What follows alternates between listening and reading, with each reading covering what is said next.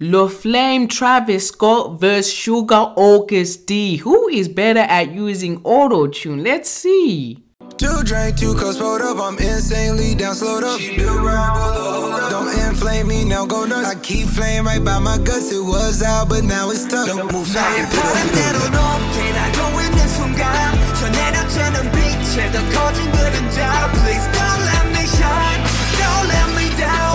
Okay, based off these clips here, Liz Travis is way better. I'm sorry, Travis is a like he's um like a thousand times better than Suga auto tune. I'm sorry. There's a reason why people call Travis Scott the king of auto tune. Like the way he uses auto tune with his voice. Like look how he does it. It sounds so clean. It sounds so smooth, clean the auto tune and the reverb he puts on the auto tune, the effects he does with his voice on top of the auto tune. Like he's mastered how to use auto tune. I don't know how he does it, but it just sounds so good. It elevates his voice.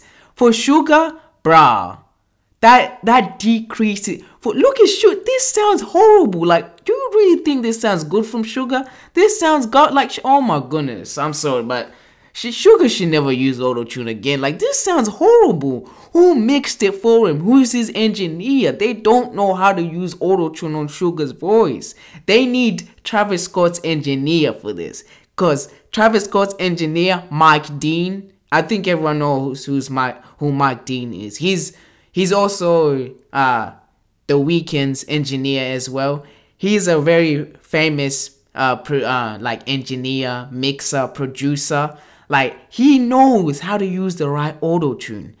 Suga should hire this guy, Mike Dean. He should fire the other guy who has him mixing his vocals because this auto tune's like all over the place. It sounds trash. Like what is this? This doesn't sound good at all. There's too much auto tune. The auto tune doesn't fit his voice.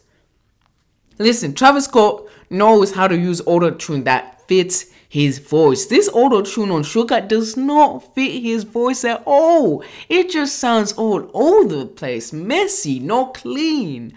It doesn't sound mixed well. It sounds like it's not even mixed well because the auto tune is like overbearing where you can hardly hear what he's saying. Like it's all over the place, but this uh, Suga, I'm sorry, but this auto tune is trash. Travis Scott, the king of auto tune, he wins.